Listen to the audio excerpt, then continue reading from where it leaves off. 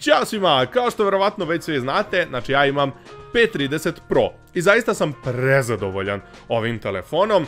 A, zašto? Znači imate ovaj klip skoro sam pravio ono a, P30 Pro 9 meseci kasnije, tako da pogledajte, ali ukratko, znači evo, on je izašao, ne znam kad, u martu, aprilu, nije ni bitno, početkom ove godine, posle njega je izašlo dosta telefona i dalje smatram da nije izašlo ništa što je zaista bolje od ovog telefona. Znači ima telefona koji su bolji u ovome onome, ali ako gledamo ceo paket, znači ovo je zaista skoro pa savršen telefon. Ali, s obzirom da menjam telefone na 6 meseci, a evo ovaj je kod mene već deveti, znači vreme je da se rastajemo.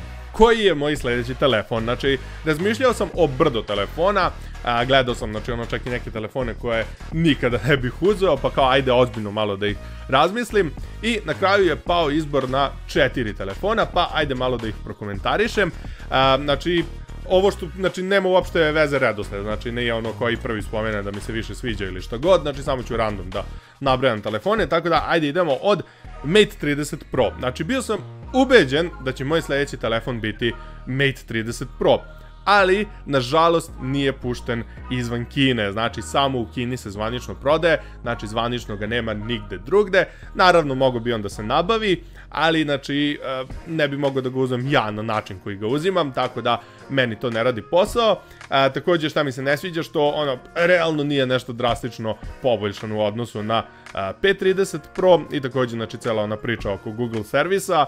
E sad, to meni opet nije neki problem, ja bi se lako snašao, ali ono, tipa ako uzimaš telefon od 1000 evra koji, znači, nema Google servisa, nego ti moraš dodatno da se zezaš, znači, ako već dajem 1000 evra, hoću da mi sve radi odmah iz kutije, tako da, znači, Mate 30 Pro najviše zbog toga što ga jednostavno nema kod nas, moramo da ga precrtamo. Idemo dalje na iPhone, znači, verovali ili ne, razmišljao sam ozbiljno o 11 Pro ili Pro Max, zato što je to telefon koji je zaista skoro doveden do savršenstva, znači, zaista ono, sve kako treba, znači, vrlo jednostavno, Ali, znači, opet on uzeo sam malo da ozbiljno istražujem kako je zapravo koristiti taj telefon i ne mogu. Znači, jednostavno previše sam naviknut na Android, znači, ta zaključanost iPhone-ova mi nikako, znači, ne mogu, znači, ja da, ono, tipa, ako snimim nešto, želim da samo prebacim i da radim, ne želim da se zezam, ono, želim ikonicu ostavim gde hoću, znači, ono, uh, iPhone je, znači, kao što sam rekao davno, to i dalje važi,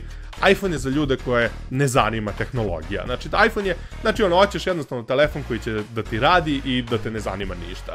Tako da, to jednostavno nije za mene. Ja hoću da, ono, radim milion stvari na svom telefonu, tako da i iPhone sam morao da precrtam. Tako da dolazimo na dva telefona o kojima sam zapravo razmišljao, znači da ih uzimam, a to su Note 10 Plus, znači znate da volim Note, znači imao sam i osmicu i devetku i ono, zaista je super telefon, znači Note 10 Plus je zaista opet skoro doveden do savršenstva, znači, ali ako gledamo u poređenju sa Note 9, Znači, opet, nije to ništa drastično poboljšano. Jeste poboljšano ovo ono, ali nije ništa uvedeno novo, zanimljivo, nešto što bi me zaista nateralo da uzmem taj telefon. Mislim, ubacili su one neke gluposti, ono da sa olovčicom možda menjaš kameru i svajpuješ i ne znam ja šta, znači to je glupost koju realno niko neće da koristi. Tako da, Note 10 je bukvalno ono upgradeovana devetka i to je to, znači nema ništa dalje.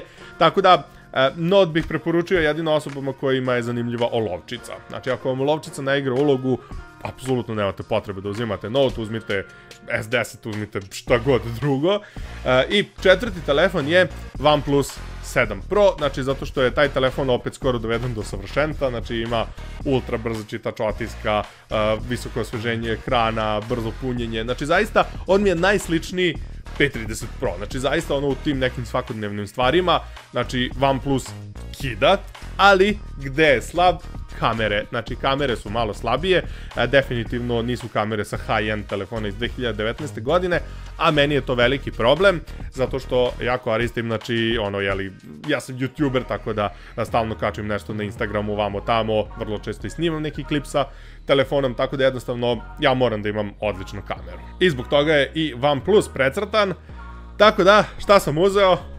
Uzeo sam Note 10 Plus. Znači, zaista sam dugo razmišljao šta da uzmem. Čak sam razmišljao i o Razer telefonu, i o ROG telefonu, i ma nema šta nisam. Znači, sve sam živo ovaj, obišao, da tako kažem.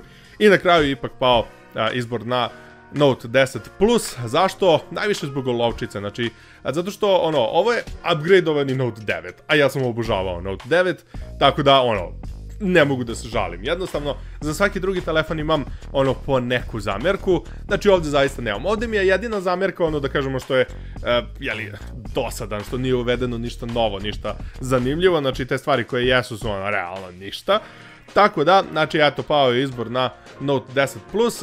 vidjet ću, to jest, pišite mi ako hoćete da snimam recenziju ovog telefona, mada toliko ljudi je već snimilo da ne vidim neku ni poentu, ali eto, ako baš bude puno komentara da hoćete malo detaljniju recenziju, pošto ga već koristim neko vrijeme, ovaj, pišite, pa ćemo, eto, uraditi. Ali, ukratko, znači, eto, moj novi telefon je Note 10 Plus. I to je to.